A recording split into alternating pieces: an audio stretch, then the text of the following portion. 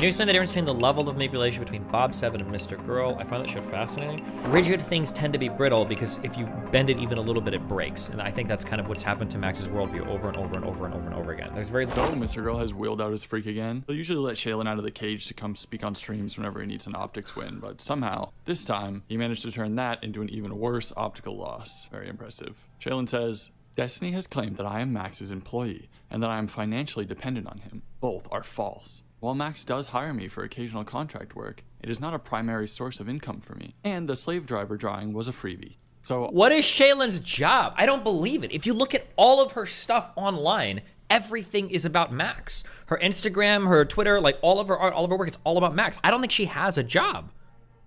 Off this tweet, we pretty much just have to take her at her word. I mean, we can't prove where the majority of her income is from unless there's a clip out there of her saying she only works for Max or something like that. However, Max manages to turn this into a massive L when, after Destiny's primary abuse victim responds to bring up that Mr. Girl had called Destiny his employer. Courtney is not a primary abuse victim. She's like a tertiary or secondary abuse. I've abused way more people before Courtney. Max responds, provide a quote and timestamp of me saying Destiny was my employer. Delete your tweet or I'll block you. So Mr. Girl is demanding that Courtney delete her tweet, maybe because he thinks it's slanderous somehow, even though it's just asking a question, or it's just personally offensive to him to be asked a quest statement that he'll block her over it. I don't know, but he goes on to say, I said that Destiny has power over his orbiters somewhat like a boss. Destiny didn't say that Shaylin is like my employee.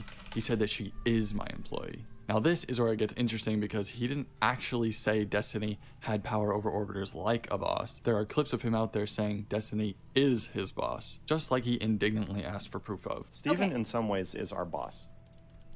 What No. the f- Speak for yourself. He- No, he can't Okay. shit. Steven is our boss, and he's also our friend, but he's our boss. And that creates a lot of weird social dynamics. Now, obviously, the two situations aren't even comparable at all because Max is literally paying commissions to Shaylin for her work, meaning he literally is her boss at some points, as Yep. he said here in a Reddit thread. But Destiny doesn't actually pay orders directly, as far as anyone knows, and orders are under no obligation to stick around if they don't want to. No con. I evaluate her work only when I'm paying her for it as her boss. I didn't even know he said that. Holy shit. Yikes, fam. We got a big ooh, we got a big ooh, yikes there. Contracts have been signed, no agreements for stream time have been made. Embarrassingly, Max responds to this clip with, Thank you. I did not mean it literally. And I definitely didn't mean employer, but yes, I did say that. Which makes it super fucking weird because they live in the same household, but their incomes are obviously separate since he is literally paying her for her work. Yeah, I know, Brandon. Like I said, that's an abusive setting. No shit. I bet that one thing that I wonder, because Shaylin kind of comes off like this, but I could be wrong, is when Max says that she's he's not her primary source of income. I wonder if she has rich parents that give her money, and so she gets like a little bit from them when she needs it, and that's why he's saying um, he's not her primary means of survival or whatever. If you do commissions or other art, would she necessarily be posting it to her socials? I could be wrong. I don't know enough about the art world, but every single artist I've ever worked with, every single person that's ever done anything like that ever in my entire life, I've always seen them post their portfolio on Instagram or there's another weird art site. I don't know what it's called, but I've, I've always seen artists because you have to. Because when people are like, oh, like, um, do you want to do work for me? Yeah, here's my portfolio. You always have a public facing portfolio. Well, from what I've seen, I've always seen artists that I've worked with always have a ton of, pu- oh, Deviant Art or ArtStation. Yeah, I think ArtStation is what I've seen. People always, or they'll have their own websites. Um, people will always have their public facing portfolios. I don't think she has one, right? Feels like every single thing she's done is with Max. But hey, listen, they could always just post one and prove me wrong. So to be fair, is her Twitter not a portfolio? Yeah, but her Twitter is just all Max pictures, right? What other work does she get commissioned for? Do you feel like the deeper Mr. Girl goes down this vengeance path, he becomes more clumsy with his communication, where he's more often finding himself with his foot in his mouth? He wasn't his bad. Okay. One of this is like a thing that I try to do. I'm not perfect. You should try to do this, okay? When I say you should be like free of ideology or try to be careful with the lenses that you view society through, the problem is that when you go down a certain path, when, when you have a hammer, everything looks like a nail, right? If you go down a certain path and you view the world in a certain way, it's easy to start to bend and contort every single thing into your particular framework to try to make everything look that way, right? If you ask a feminist why, um, you know, why 9/11 happened, you know, they'll say toxic masculinity. That might actually be a quote from fucking maybe was it Brianna Wu who said that a long time ago about Elliot Rogers, or might have been Anita Sarkeesian. Like, a- like in the in in the patriarchy, everything is the fault of toxic masculinity, right? Or if you're a racist, everything is the fault of immigrants. Or if you're anti-Semitic or a Nazi, everything is the fault of Jews, et cetera, et cetera, et cetera. Like, it's always it's always that particular thing. The problem with Max is he's gone down this hyper narcissistic road where he's a savior, I'm a sex abuser. He's like protecting and saving and helping all these women around him, right? He, Shaylin even drew the picture of her protecting. Um, you know her max and, and, and his daughter lav um, he's got this very rigid and it is very rigid but brittle um, way of viewing the world and everything has to be compressed down into it but the problem is that the, the less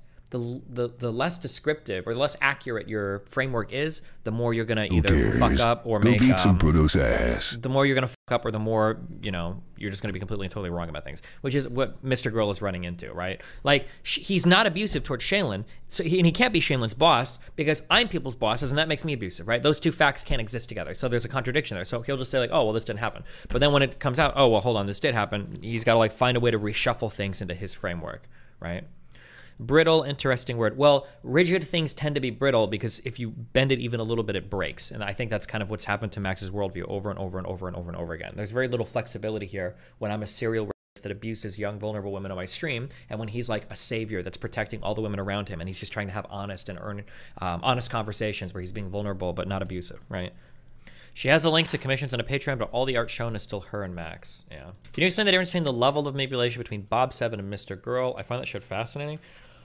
Bob Seven, I think, fancied himself like a mini little manipulator who was just trying to get things that he wanted on his side. But Bob Seven, I don't think was like a crazy narcissist. Like he was just like a he was like a smarter version of Denims, I guess. Like I don't think Denims is a crazy narcissist. Max is genuinely insane. Like I don't think Bob Seven. If you were to ask Bob Seven, like, do you fancy yourself as like the protector of all like the innocent and poor women around you? Are you like a savior against? I don't think he'd ever say that. He'd never be like, oh yeah, for sure. Like he'd be like, no, fuck no. Like if you honestly, I was like, no, I'm gonna fuck this guy over because I don't like this dude or whatever. Where that dude is me, right? I think that was Bob Seven. Max genuinely, I again, and I could be wrong. You know, who knows? Maybe I'll be wrong in the future, and it's possible. But like, I genuinely do believe that Max thinks he's on this like righteous path um, where he's doing the thing that is correct and he really is like saving all these people around him. Like I think he genuinely does believe that. But again, um, personality disorder, right? Like I mean, like it's part of who he is. It's his character.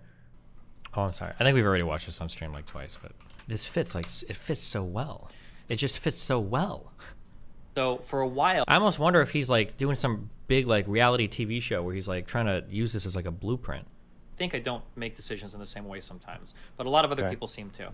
So for a while, I think it led me to be a little bit. Um, I, I people acted in ways that I didn't expect. It's like, well, hold on, how can this person fuck me over? Like I haven't done anything like that fucked up to her. How can a person do this? This is like really weird to me. I feel like I've done so much. But I think what I've kind of learned recently is when somebody's fucking somebody over, the reason there aren't any bad feelings that they have to deal with because in everybody else's mind, they've always convinced themselves that they're in the right for doing so. So they don't actually have to deal with those types of bad feelings because they're always the hero of their own story and they always have good justification for the reasons they're acting. So I think it's a little bit of a waste of time for me to try to guess like, okay, well, objectively, I've done like a decent amount of shit for you. How the fuck can you do this to me? Because in their mind, they've already convinced themselves, well, Destiny's a horrible person. He's done this horrible shit. Like Wait, I wait. can do this, and it's actually okay. Can, can you give me a real life example of somebody who you think has no qualms? So about- Vaush is somebody who only exists on the internet because of me. Because I'm willing to talk to smaller creators. Because I was willing to plug him as much as I could early on. Because I gave him a big presence in my chat. He was involved in a sexual harassment scandal that I covered up for him, kind of. I deleted the video off my YouTube channel. I, I would always tell him like, hey, like uh, like I did a lot of stuff to help him early on. That would Yeah. be somebody that, in my mind, if I was in his position, I feel like I would always have a debt there. There's no possible way that I could like turn my back on this other person and be like, you're a horrible piece of shit or whatever. Um, Okay. But he did um, because there was more to gain publicly. But I think in his mind, I don't think he's thinking like, oh god, like you know, me and Destiny, we were kind of friends, made this, and I this is gonna hurt a lot. I think in his mind, he's already thought like, okay, Destiny is actually an evil, horrible person. I don't even think he likes me at all. I think he's actually like an evil fuck, and I need to do this because it's the right thing to do. So I might be trying to project onto him some emotional state that he doesn't have because from his point of view, he's already convinced himself that he's correct in everything that he's doing. So that would be like one out of. I can give you like half a dozen other real life examples of people acting. I, in this ca- I, I might want a couple, but do you think um, you think most people are like Vaush in that way? Yeah, for sure. I think that's a pretty normal human thing to do. We think of ourselves as like a good person usually. Also, to be clear, because when we have these conversations, I'm talking about how other people. I'm not a perfect person either. Like I've made mistakes and I've done bad things to people too. So I mean, like it's not like Yeah, I'm not saying that like I'm a perfect person. in every Sure, sure, No, yeah, whatever. just What a clear. wild- I have to give the caveat for the audience. Yeah. But- I understand. Vaush, um, I feel like there's some selection bias where What a wild, what a wild thing to say. Jesus.